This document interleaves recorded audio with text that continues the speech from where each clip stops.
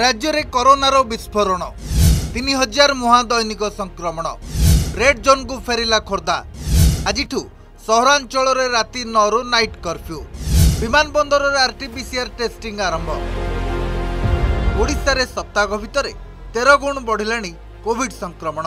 ଦୈନିକ ପଚାଶ ପ୍ରତିଶତ ବେଗରେ ଆଗକୁ ବଢ଼ୁଛି ଆକ୍ରାନ୍ତଙ୍କ ସଂଖ୍ୟା। ଏ ହେଉଛି ଗତ ସାତ ଦିନର ବଢ଼ୁଥିବା କରୋନା ଗ୍ରାଫର ଚିତ୍ର। ଗତ ଚବିଶ ଘଣ୍ଟାରେ ରାଜ୍ୟରେ ଦୁଇ ହଜାର ସାତଶହ ତିନି ପଜିଟିଭ୍ ଚିହ୍ନଟ ହୋଇଛନ୍ତି। ସେଥିମଧ୍ୟରୁ ଖୋର୍ଦ୍ଧାରୁ ସର୍ବାଧିକ ନଅଶହ ଛବିଶ ସଂକ୍ରମିତ ଥିବାବେଳେ ଦ୍ୱିତୀୟ ସ୍ଥାନରେ ରହିଛି Sundargarh. Khordha red zone Sundargarh yellow ଜୋନ୍କୁ ପୁଣି ଫେରିଛି। ସେହିପରି ରାଜ୍ୟରେ ଅନ୍ୟ ଜିଲ୍ଲାରେ ବି କୋଭିଡ୍ ସଂକ୍ରମଣ ବଢ଼ିଛି। ଆଜି ଝାରସୁଗୁଡ଼ା ଡିଆର୍ଡିଏରେ ଜିଲ୍ଲା ଗ୍ରାମ୍ୟ ଉନ୍ନୟନ ସଂସ୍ଥାର ପ୍ରକଳ୍ପ ନିର୍ଦ୍ଦେଶକଙ୍କ ସମେତ କୋଡ଼ିଏ କର୍ମଚାରୀ କୋଭିଡ୍ ପଜିଟିଭ୍। ଆସନ୍ତା ତିନି ଦିନ ପାଇଁ ଅଫିସ୍ ସିଲ୍ କରାଯାଇଛି। ସେହିପରି ପନ୍ଦର ଜଣ କର୍ମଚାରୀ ପଜିଟିଭ୍ ପରେ କଟକ ତୁଳସୀପୁରର ପୋଲିସ ସିଗ୍ନାଲ ସ୍କୁଲ ବନ୍ଦ। ବିସୁଟରେ ବି ଅଠର ଛାତ୍ରଛାତ୍ରୀ କରୋନା ପଜିଟିଭ୍ ଚିହ୍ନଟ ହୋଇଛନ୍ତି। ଅନ୍ୟପକ୍ଷରେ ରାଜ୍ୟରେ ଟ୍ରାନ୍ସମିଶନ ରେଟ୍ ଅଧିକ ରହିଛି ଆଗକୁ ଆହୁରି ଅଧିକ କେସ୍ ସାମ୍ନାକୁ ଆସିବ। ସବୁ ବର୍ଗରେ ସଂକ୍ରମଣ ବଢ଼ିବ ବୋଲି କହିଛନ୍ତି ସ୍ୱାସ୍ଥ୍ୟ ନିର୍ଦ୍ଦେଶକ ବିଜୟ ମହାପାତ୍ର। ସମସ୍ତଙ୍କର ଯେଉଁମାନେ ଟ୍ରେନ୍ ଯାତ୍ରୀ ଆସୁଛନ୍ତି ବିଭିନ୍ନ ଓଡ଼ିଶା ରାଜ୍ୟ ବାହାରୁ ସେମାନଙ୍କର ମଧ୍ୟ ଠିକଣା ସଂଗ୍ରହ କରାଯାଉଛି। ଆମେ ମଧ୍ୟ ଦାୟିତ୍ୱ ନେଉଛୁ।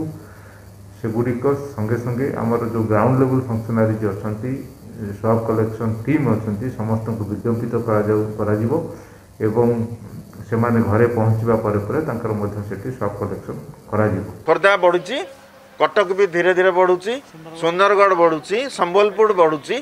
ମୁଁ ତ ବର୍ତ୍ତମାନ କହିବି ଆପଣଙ୍କୁ ଆମେ ସବୁ ଅ, ଜିଲ୍ଲାଗୁଡ଼ିକୁ ଆମେ ଭଲନେରେବଲ୍ ଭାବିବା ଧୀରେ ଧୀରେ। କାହିଁକିନା ଆଜି ଆମର ଯେତେବେଳେ ପଜିଟିଭିଟି ବଢ଼ୁଛି ଛଅ ସାତ ଦିନର କଥା ଏଇଟା ଆହୁରି ଆଗକୁ ଅଛି। ସଂକ୍ରମଣ ବଢ଼ୁଥିବାରୁ ରାଜ୍ୟରେ କଟକଣା ବଢ଼ିଛି। ଆସନ୍ତା ଦଶ ତାରିଖରୁ କଲେଜ ୟୁନିଭର୍ସିଟି ବନ୍ଦ ରଖିବାକୁ ସରକାର ଘୋଷଣା କରିଛନ୍ତି। ସେପଟେ ଆଜିଠୁ ସହରାଞ୍ଚଳରେ ରାତି ନଅଟାରୁ ସକାଳ ପାଞ୍ଚଟା ଯାଏଁ ନାଇଟ୍ କର୍ଫ୍ୟୁ ଏଥିପାଇଁ ପୋଲିସ ପକ୍ଷରୁ ନାଇଟ୍ ପାଟ୍ରୋଲିଂକୁ କଡ଼ାକଡ଼ି କରାଯାଇଛି। ରାତି ନଅଟା ପୂର୍ବରୁ ସମସ୍ତ ଦୋକାନ ବଜାର ବନ୍ଦ ରଖିବାକୁ କଡ଼ାକଡ଼ି ଭାବେ କୁହାଯାଇଛି। ତେବେ ଏହି ସମୟରେ ଅତ୍ୟାବଶ୍ୟକୀୟ ସେବା ଚାଲୁ ରହିବ। ଅନ୍ୟପଟେ ଭୁବନେଶ୍ୱର ଏୟାରପୋର୍ଟରେ ଆରମ୍ଭ ହୋଇଛି ଆର୍ଟିପିସିଆର୍ ଟେଷ୍ଟ। ଯେଉଁମାନେ ରାଜ୍ୟ ବାହାରୁ ଆସୁଛନ୍ତି ସେମାନଙ୍କ ପାଇଁ ଟେଷ୍ଟିଂ ବାଧ୍ୟତାମୂଳକ। ଗାଇଡ଼ଲାଇନ୍ ଆସିଛି। ସେ ଅନୁସାର ରାତି ନଅଟାରୁ ସକାଳ ପାଞ୍ଚଟା ଯାଏଁ ଡେଲି ନାଇଟ୍ କର୍ଫ୍ୟୁ ଚାଲିବ ଆମ ତରଫରୁ ସବୁ ତିଆରି କରାଯାଇଛି ଯେତେ ବି ମାର୍କେଟ କମିଟିଜ୍ ଅଛି ଦୋକାନ ସଂସ୍ଥାନ ସବୁ ଅଛି ସମସ୍ତଙ୍କୁ କୁହାଯାଇଛି କି ସେମାନେ ନଅଟା ସୁଦ୍ଧା ମାର୍କେଟ ବନ୍ଦ କରିଦେବେ। ତାପରେ ସବୁ ଯେତେ ବି ଆମର ଇମ୍ପୋର୍ଟାଣ୍ଟ ଛକ ଅଛି ସେଇଠି ଆମର ରାତିରେ ଚେକିଂ ସବୁ ଚାଲିବ। ରାତି ନଅଟାରୁ ଜାନୁଆରୀ ଏକ ସକାଳ ସକାଳ ପାଞ୍ଚଟା ଯାଏ ବଳବତ୍ତର ରହିବ।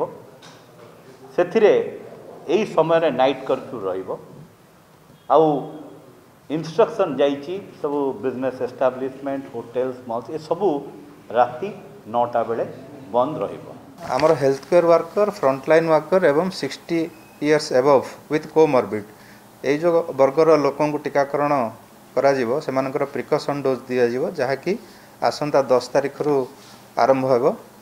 ଏବଂ ଏଇଥିରେ ଯେଉଁମାନେ ଆ, ଉଭୟ ଡୋଜ୍ ନେଇଛନ୍ତି। ମାନେ ସେକେଣ୍ଡ ଡୋଜ୍ ବି ନେଇସାରିଛନ୍ତି ସେମାନଙ୍କୁ ଦିଆଯିବ ଏବଂ ସେକେଣ୍ଡ ଡୋଜ୍ର ନଅ ମାସ ପରେ ଅର୍ଥାତ୍ ଅଣଚାଳିଶ ସପ୍ତାହ ପରେ ସେମାନଙ୍କର ପ୍ରିକସନ୍ ଡୋଜ୍ ଦିଆଯିବ।